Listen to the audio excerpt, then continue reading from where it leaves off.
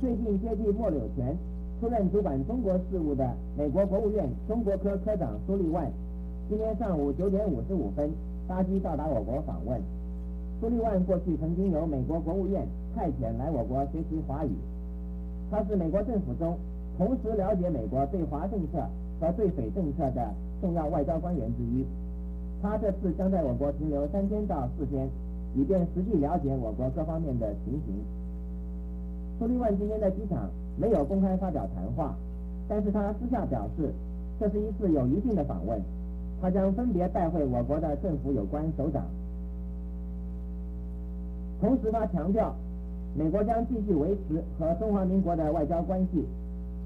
目前也不会和共匪建立任何外交关系。